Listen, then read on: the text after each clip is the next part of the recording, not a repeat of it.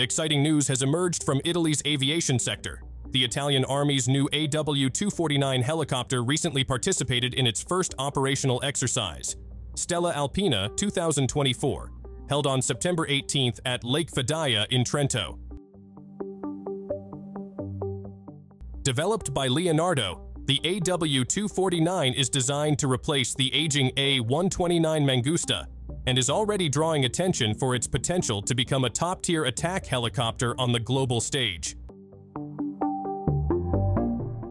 Some even say it could give the American Apache a run for its money. But what makes this helicopter so special?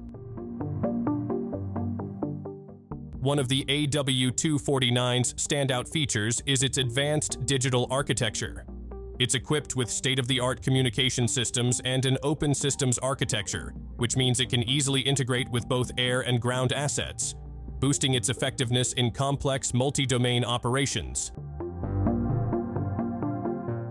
When it comes to performance, the AW249 doesn't disappoint.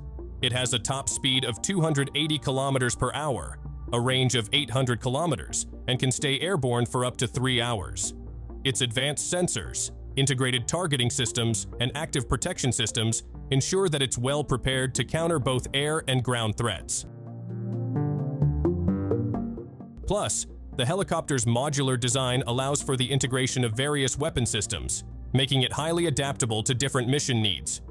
In comparison to the US AH-64 Apache, the AW249 offers similar firepower, but with greater modularity and flexibility.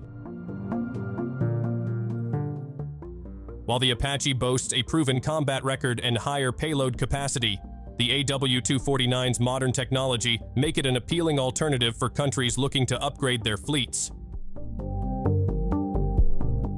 The Italian Army is expected to receive its first batch of seven AW249 helicopters by 2027, marking a significant step in modernizing its defense capabilities. With its versatility, reliability, and cutting-edge features, the AW249 is set to be a strong competitor in the global attack helicopter market. That's all for today. Thank you for watching.